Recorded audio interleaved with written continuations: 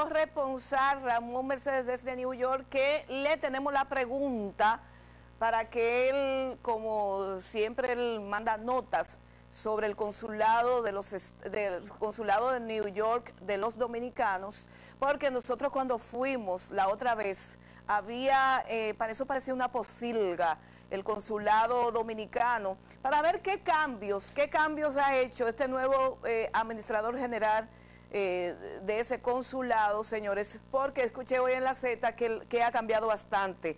Así que necesitamos ese, eh, mi querido Ramón Mercedes, que tú nos envíes esa información para nosotros quitarnos eso, eh, esa mala imagen cuando fuimos al consulado dominicano en New York, que era bien, bien sucio y bien asqueroso. Así que saludo a nuestra gente que está en el Instagram. Bendiciones, Tora, la más fuerte de la RD La Tora. Aquí lo dice Mayoanes X82. Me escribe también María Gómez. Hello. 6235. Estamos arreglando, señores, para poder leerlo por aquí porque hemos tenido una serie de inconvenientes. Pero usted sabe que este es un programa en vivo que no se para. Así, Eric Ramírez Guzmán nos manda una, un saludo. Gracias de todo corazón. Señores, la gente quiere el bailecito. La gente quiere el baile, el baile que hacemos todos. Acuérdense que hoy es viernes y el cuerpo lo sabe. Agárrame aquí, mi querido, porque la gente quiere música. Dime, ¿dónde está Payasito? ¿Tenemos música ahora, Payasito? ¿Quiere ponerlo ahí? Dime, Payasito, ¿qué tenemos ahora? Hoy es viernes y la gente lo sabe, está eh, mal dirigido, mi querido. Eso es, mañana, señores, vamos a comprar un trípode. Arréglelo, venga, que, que ese da malo que sabe de derecho, después de tecnología no sabe nada. Así es, ahí sí se ve, señores. Así que la musiquita, porque no están esperando el baile. Usted va a, bailar como que baila el tipo de qué. No es así que bailar. ¿Eh? ¿No es así? ¿Eh? Hoy es viernes, señor, y como siempre los viernes bailamos más que dar información. Pero tengo una información, ¿cuál es nuestra campaña? ¿Qué tenemos? ¿Qué eslogan tú le puedes poner a un hombre apellido Iglesia? Iglesia viene siendo de algo consagrado. Para consagrar la salud pública, el doctor Iglesia, ministro de salud. Para consagrar la salud, porque la salud dominicana debe de ser algo sagrado y consagrado. Y por eso tenemos nuestra campaña de llevar a una persona humilde, sencillo, humanizado, no humanizado. El presidente de la República le dice a su equipo de trabajo y más a nuestras Fuerzas Armadas, humanizar el cargo. Cuando usted humaniza el cargo, las cosas fluyen. Pero si usted es una persona prepotente que se cree la gran vaina porque tenga una posición, usted se vuelve un déspota, un malvado, un maldito. Y por eso tenemos que llevar, y el presidente de la República conoce mejor que yo al, al general Iglesias, que debe hacerlo general ya tiene que hacerlo general porque, caramba, presidente Danilo, caramba. Entonces, para humanizar nuestra salud pública, tenemos que llevar un hombre del presidente de la República, porque el doctor Iglesias es un hombre del presidente Danilo Medina, que lo conoce, presidente, usted lo conoce mejor que yo a él. Sabe lo humano y sensible, no es corrupto, no es ladrón, no hace cosas mal hechas ha dirigido bien el Hospital Central de nuestras Fuerzas Armadas, es el director actual, señores, sin dinero, entre él y el ministro de las Fuerzas Armadas ha escalvado dinero para poder mantener la calidad en el Hospital Central de las Fuerzas Armadas. Y cada vez que llega una persona que necesita un apoyo, ahí está la mano amiga del director del Hospital Central, el doctor Iglesias que próximamente se van a mejorar porque había un problema con la emergencia y se buscó el dinero. El ministro dijo, no se preocupe, vamos a resolverlo de la emergencia. Pero hay otros problemitas más que tiene el hospital de, nuestras Fuerzas Armadas.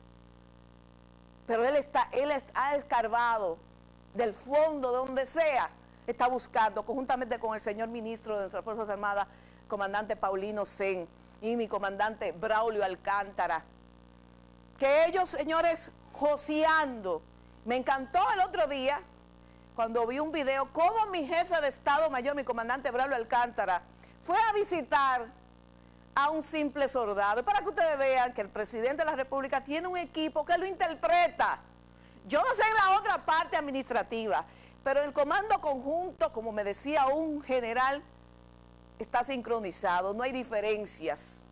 Y por eso es, presidente Danilo, que usted tiene que llevar ahí a la salud dominicana un hombre humilde como lo es el doctor Iglesias.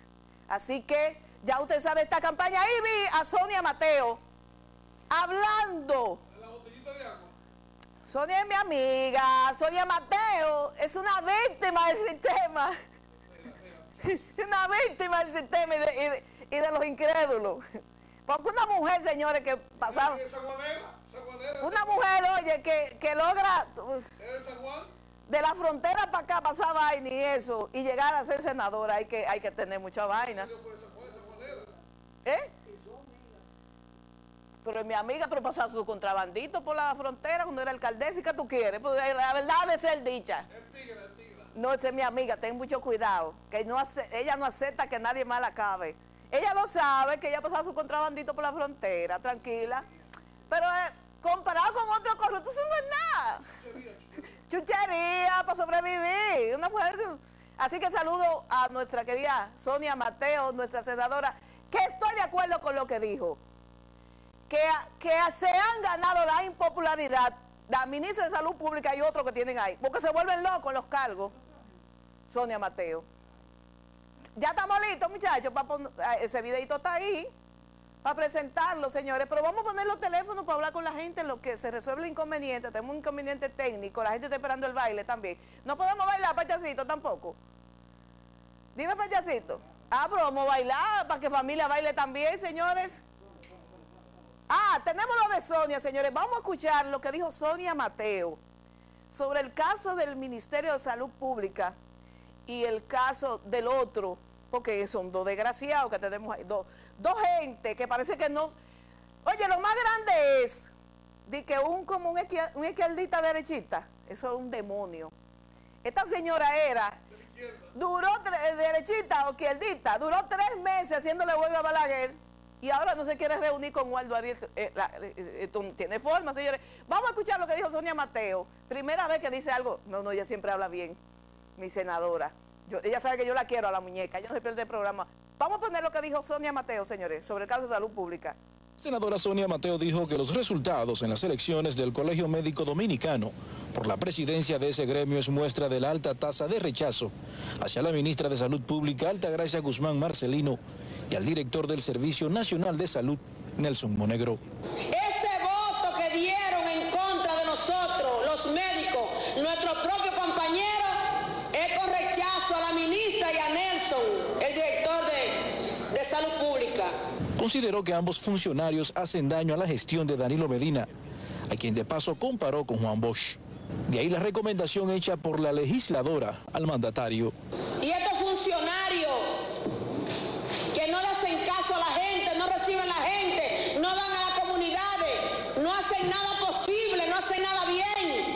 Sin embargo, no todos en la bancada morada en el Senado comparten el parecer de Sonia Mateo respecto a los funcionarios del sector salud. En el caso del Ministerio de Salud y en el caso del director nacional de salud, el doctor Nelson Rodríguez Monegro, han hecho todo lo que han podido hacer. Es facultad del presidente de la República definir, definir quiénes los acompañan.